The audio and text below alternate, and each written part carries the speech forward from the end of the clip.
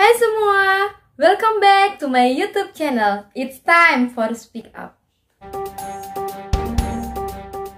Oke, sebelum kita mulai ke pembahasan, aku mau sharing ke kalian uh, beberapa bulan lalu sebelum aku berangkat ke Australia, aku sempat dapat kiriman paket dari Alia Shop, online shop. Ini tasnya lucu banget ya, lihat deh tasnya lucu banget dan ini udah aku pakai ke mana-mana. Mau aku ke Melbourne mau aku ke Crown mau uh, aku selalu gunakan ini. Dan limited edition uh, desainnya itu limited edition jadi nggak murahan banget dan harganya pun juga terjangkau. Buat kalian yang pengen kepoin produk produk-produk yang dijual bisa lihat Facebooknya di sini. Atau bisa langsung menghubungi nomor telepon yang sudah tertera di halaman ini. Dan Sebelum kalian menonton, jangan lupa buat subscribe, like, comment, and share. Di diskusi kali ini, di episode kali ini, kita akan ngebahas tentang dampak corona bagi pejuang LDR, apalagi yang international relationship. Nah, aku bakalan bincang-bincang dengan uh, fotografer kece badai, Mbak Latisha, kakak Latisha, yang saat ini punya suami orang luar negeri, orang Eropa uh, orang Eropa. Jadi ini pasti berat banget buat kalian di sana yang pasangannya lagi di negaranya masing-masing. Pengen tahu? Langsung aja kita ngobrol-ngobrol dan menghubungi Kakak Leticia melalui sambungan Zoom. Halo, selamat pagi Kakak cantik. Apa kabarnya ini? Halo, Kabar baik. Kamu gimana? Aku masih dalam masa karantina. Foto. Foto. Iya. Gimana nih pendapatnya soal situasi uh, pandemi ini, lagi global krisis dunianya ini? Wah, uh, sebenarnya kalau aku pribadi nggak nggak berasa sih, maksudnya nggak berasa banyak ya, bukan uh, maksudnya dalam untuk keseharian nggak nggak nggak berasa banyak karena sama aja sih kayak ini nih pagi bangun tidur ngasih makan anjing, ngasih makan kucing, terus bersih-bersih rumah, terus masak sendiri, sama aja gitu loh. Cuman yang membedakan adalah pekerjaan ya pasti ya. Jadi kita pending dulu semua. Udah banyak banget yang cancel. Cuman mungkin teman-teman di sosial media nggak ada yang sadar bahwa pekerjaanku drop. Kenapa?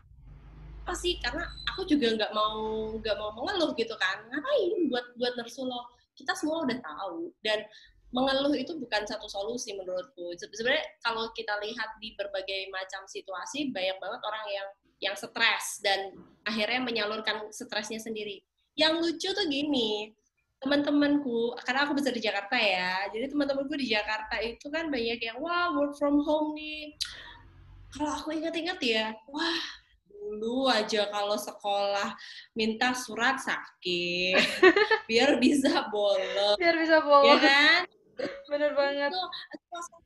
Izin dulu. Sekarang giliran work from home ngeluh ya nggak bisa keluar. Lah ya nggak sih? Kalau sebenarnya sih bukan karena work from home-nya ya mbak ya. Mereka nggak bisa hang out. Itu itu yang bikin ah pusing. Kayak aku sekarang ini setiap hari kan memang kita kerjanya work from home ya. Cuma karena nggak bisa hang out nggak bisa ngafe iya. nggak bisa say hi sama temen itu yang bikin pusing itu. Sebenarnya tuh itu. Ya juga aku juga sangat menyadari sih uh, karena uh, aku sebagai fotografer kan punya space yang agak luas ya. Jadi memang tingkat stres bagi orang-orang yang work from home dan terpaksa self quarantine istilahnya di tempat yang kamar kos kecil dia pasti membuat membuat stres. Itu juga sangat understandable. Tapi kalau misalkan dibilang eh, nggak uh, ada something to do orang kalau kerja atau kuliah aja kita pasti nyolong-nyolong ngeliat Facebook ya kan? Sekarang kamu atau ada kesempatan untuk ngeliat memes video lucu sepanjang sehari? Yang penting harus ada wifi di rumah ya gitu lah. Cuman yang agak-agak sedih karena uh, pandemik ini uh, akhirnya aku harus pending visa Schengen dulu nih. Karena visa Schengen uh, suami aku kan di Norwegia. Ah, tuh sebenarnya udah kirim surat sponsor untuk ngurus aku visa Schengen. Tapi situasi kayak gini sebenarnya malah nggak bisa diurus dulu iya. Ya by the way ngomong-ngomong nih ngomong-ngomong soal suami. Oh my god ngomong-ngomong soal suami yang di Norwegia nih nah ini gimana nih international relationship ini? Pasti berdampak banget ya mbak ya. Ini kayak berkaca kayaknya aku. Sebenarnya sebenarnya dari awal kita temenan sebelum kita married sih emang juga udah LDR kan ya. Cuman uh, karena aku sempat kerja di US dan area Karibia jadi permasalahan LDR itu sebenarnya adalah uh, timing. Jadi waktu di sana dan di sini itu time difference-nya aja sih yang yang berasa beda. Kalau untuk masalah pandemik ini aku rasa hanya hanya hanya sedikit memper, memperpanjang proses ketemu katuknya nanti itu loh. Terus juga kan kalau kita browsing browsing sekarang meskipun meskipun ya meskipun di Norwegia udah nggak di lockdown tapi hmm, tiket tuh nggak ada. Mau ke mana juga gitu. nah ini yang jadi masalah gitu. Jadi kan gini uh, um, uh, saat apa sih mungkin kamu ada tips atau kiat gitu? Karena kan ini kemungkinan bakalan lama ya bisa bisa enam bulan bisa lebih. Bahkan di Australia ini lockdown udah eh, enam uh, bulan lockdown. Jadi nah tipsnya apa ini kiat-kiatnya biar uh, biasanya itu kan yang namanya LDR apalagi orang jarak LDR Malang Jakarta aja susah banget ya. Ini ini Indonesia luar negeri ini nggak tanggung tanggung nah itu gimana itu? Ya sebenarnya gimana ya?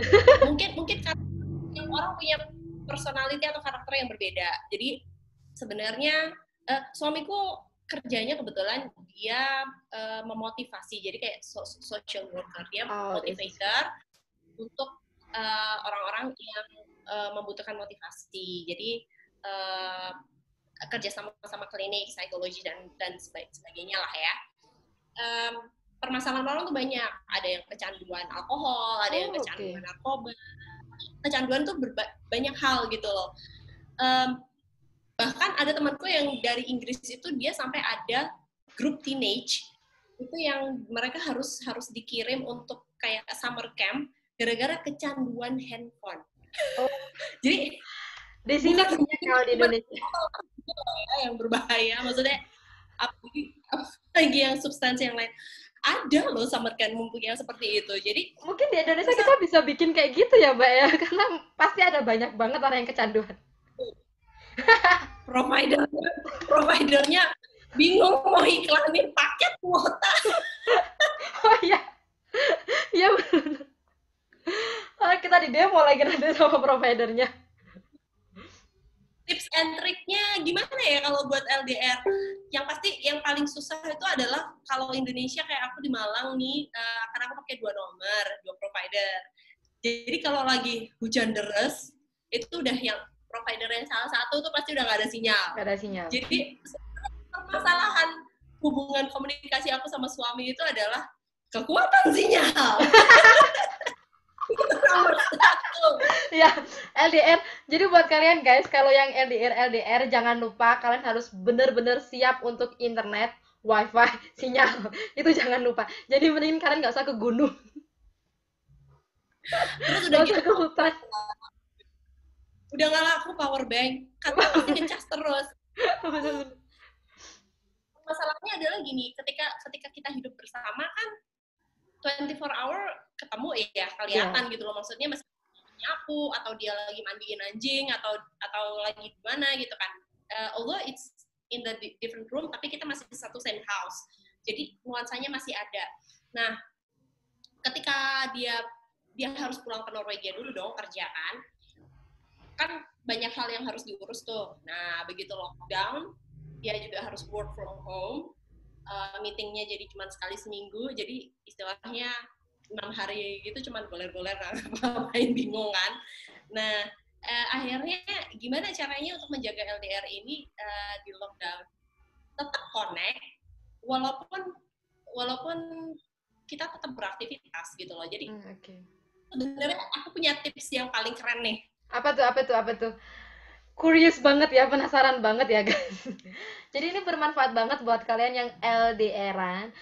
bukan hanya di international relationship. Ah aku juga punya. Jadi mau di dapur mau di mana? Kita masih bisa. jadi kamu bisa tetap kita tuh bisa tetap kontak sumpah Tuhan. Jadi kalau nyapu nyapu ngepel bahkan bersih bersih kamar tempat tidur ya changing bed sheet kita tetap kontak. Jadi eh, namanya kontak kontak meskipun online itu bukan hanya ngomong langsung eyes to eyes gini atau membahas sesuatu enggak. Tapi sense of uh, existence gitu kan Ah. ada dia itu udah udah cukup. Nah kalau teman-teman nggak sanggup untuk membeli ini ini kan harganya tujuh puluh ribu ya. Oke. Gue punya solusinya cuy ini murah. Please please please apa itu? Jangan ngakak. Oh my god. Solasi solasi ya bener-bener jadi tinggal ditempelin handphone kayak gini ya. Kalau kalau handphonenya kayak gini nggak bisa ini. Talenan bu. Kalau ini gimana ini kalau kayak gini? Stabil banget. Jadi aku kalau lagi bersihin kandang kucing sambil ngobrol sama dia Oke, this is good idea, bener banget.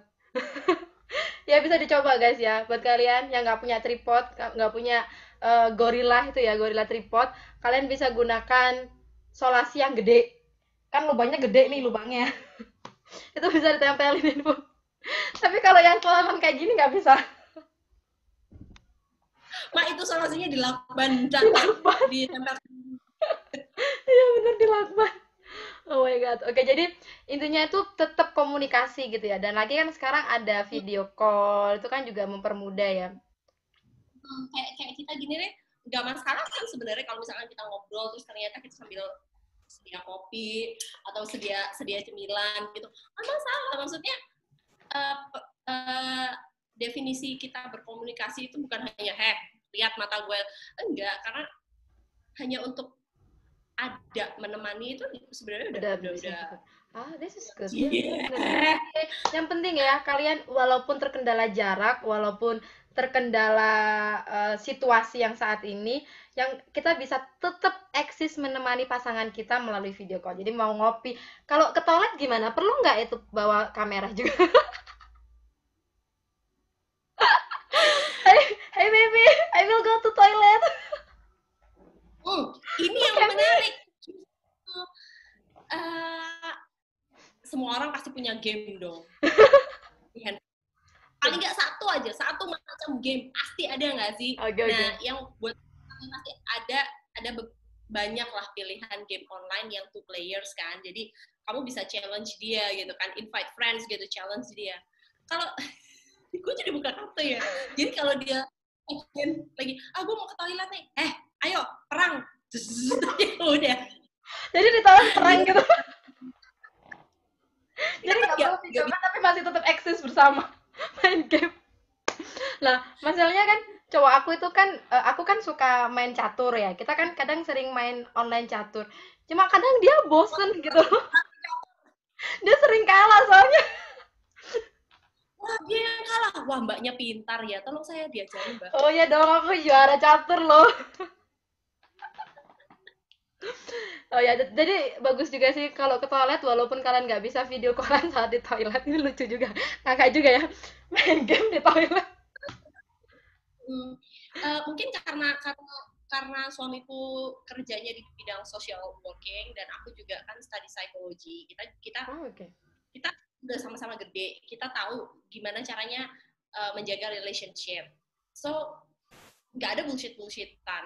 Kebanyakan orang Indonesia memulai relationship kan mulai dari eh gue gue cantik gitu Oh, terus iya. gue mau apa ngapain gitu. Tar dulu.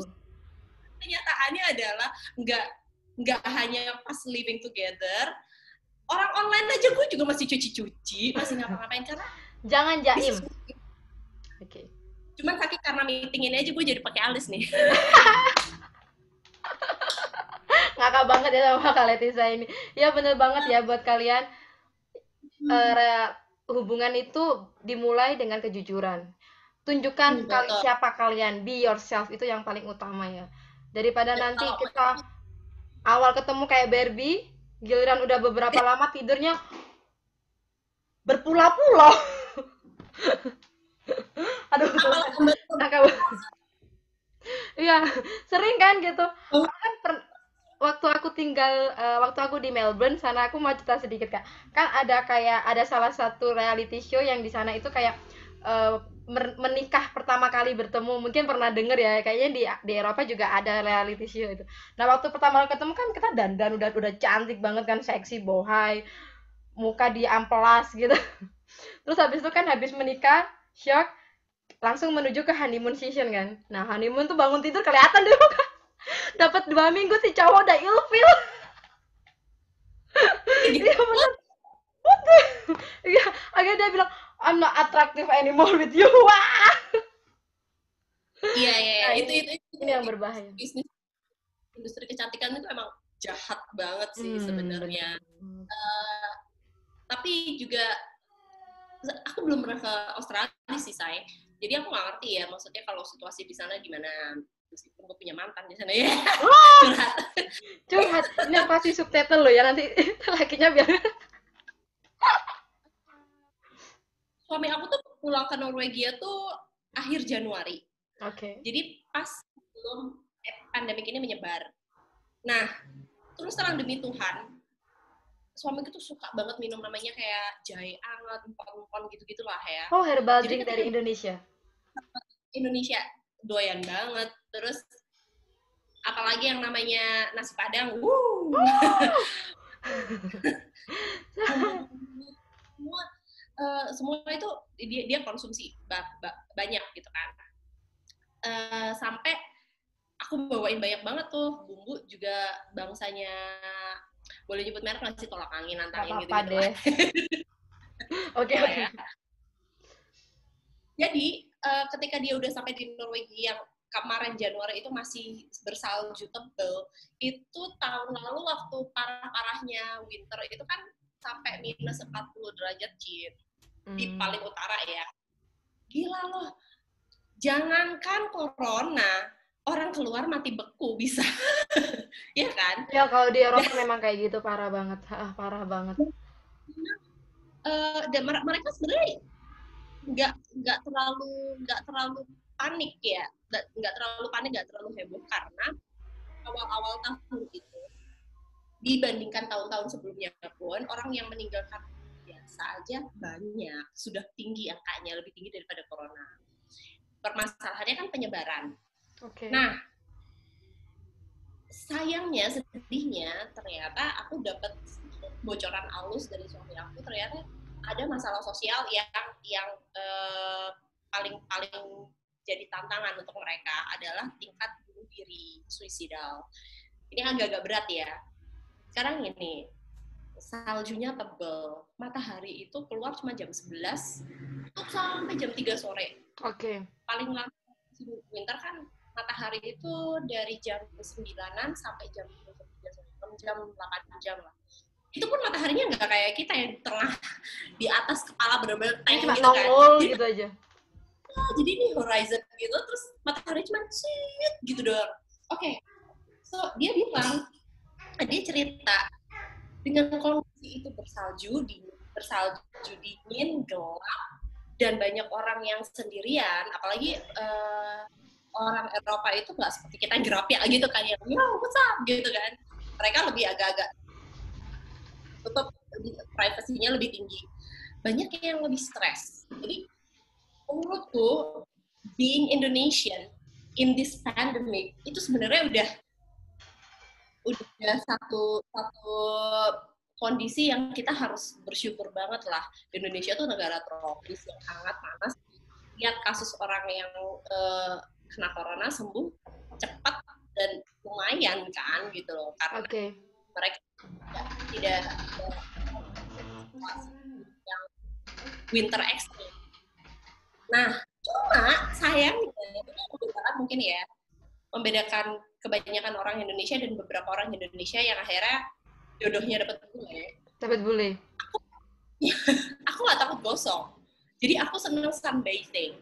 Aku seneng sun tanning. Dan aku bukan tipe yang ah di rumah aja di dapur aja takut panas nanti put nanti gosong itu pakai produk pemutih bla bla bla enggak. Jadi go out there play gitu loh maksudnya pagi jalan pagi, gitu, sun, uh, sunbathe itu kan bagus buat kita sendiri kan. Iya. Terus pakaian itu tuh ngaruh banget. Bahkan dulu waktu aku kuliah di psikologi, ada satu studi dari satu satu jurnal itu bahwa uh, autisme pada anak itu bisa disebabkan karena ibunya waktu hamil pakai uh, pakai sampo antiketombe yang mengandung logam berat selenium tinggi setiap hari. Jadi ada oh, mineral intoksik bisa oh bisa. Jadi sebenarnya yang, yang yang kita konsumsi itu kalau mengandung logam berat, mineral berat itu kan mengendap dan buat wanita tuh bisa jadi uh, banyak hal, kanker okay. rahim, kanker payudara dan lain-lain. Tapi kenapa kenapa banyak orang yang akhirnya bisa lolos karena sekali lagi detoxification, terus juga imun sistemnya kita boost. Orang Indonesia kan makannya banyak banget nih herbal. Jamu-jamuan dalam bentuk masakan. Gua banget. Gua banget itu. Rempah-rempah Indonesia itu luar biasa. Cabe pedas itu high dose vitamin C gila loh. Itu bener-bener bagus banget untuk sistem kita. Terus orang Indonesia oke, okay, stres bikin meme, ya kan? Ada orang sedih kita bikin meme, dikit-dikit guyon, dikit-dikit guyon. diguyonin. Oh, kamu ingat ya waktu waktu kapan ya? Wah, kapan tuh yang waktu ada bom di Sarinah? ah. Jakarta. Oke oke oke nah, oke. Bayangin hari begitu aja masih ada orang santai jualan sate, jualan lain-lain. Jadi tingkat mentalitas orang Indonesia menghadapi satu musibah bencana itu sebenarnya kayak roller coaster bisa drop banget tapi habis gitu bounce back-nya tinggi belum belum udah keluar meme belum belum udah keluar dark humor. Ada juga orang yang alah ya udahlah kapan juga mati. Ya ampun. Kita biasa kan gitu loh. Memang masyarakat Indonesia tuh luar biasa. Jadi uh, aku rasa LDR LDR dan pandemik itu nggak jadi nggak kerasa bedanya nggak gitu, jadi kerasa. karena Indonesia juga oh netizen 62 juga lucu-lucu juga ya kadang kocak juga. Walaupun lagi stres situasi stres kayak gini mereka masih bisa bikin sesuatu yang konyol gitu loh ya. Iya kan? Terus malah malah sekarang lihat berapa orang jadi tiktokan semua terus jadi bikin jadi sebenarnya menggali kreativitas dalam diri gitu kan bakat-bakat hmm, okay, yang okay. semua explore. Selfie yang biasanya biasanya kalau kerjaan normal paling 100 foto lah sehari. Ini bisa 200 300 ya itu selfie ya. Oke. Okay. oke. Okay. oke okay, mbak kakak apalagi nih kak yang mau disampaikan? Uh, kita selanjutnya nanti aja. Karena kayaknya kayaknya bakalan banyak tema yang bisa kita sharing. Sharing iya benar banget. Uh -uh. untuk mungkin ya guys ya untuk di video-video selanjutnya kita akan ngebahas yang uh, berbeda. Karena kan si kakakku yang cetar ini adalah fotografer profesional juga. Wow luar biasa foto-fotonya. Nanti mungkin dia bisa sharing sharing sedikit pengalaman dia jadi fotografer oke? Okay? gitu ya kak ya? Oke aku aku makasih banyak ya untuk ngobrol-ngobrolnya hari ini. Udah diluangkan waktunya. Semoga tetap semangat, sehat selalu, jangan lupa stay at home dan bye bye. Ya guys, itu tadi ngobrol serunya bareng fotografer kece badai kakak Leticia yang informatif banget ya buat kalian pejuang LDR. Jangan lupa untuk kalian tetap subscribe, like, comment, and share channel YouTube aku dan aku akan kasih giveaway bagi-bagi pulsa untuk satu komen terbaiknya. Jadi yuk komen ya, nanti aku pilih komen terbaik siapa dan aku akan umum umumkan pemenangnya di video aku di episode selanjutnya. Dan jangan takut untuk berbicara karena mungkin saja apa yang kalian katakan bisa mengubah dunia. Bye bye.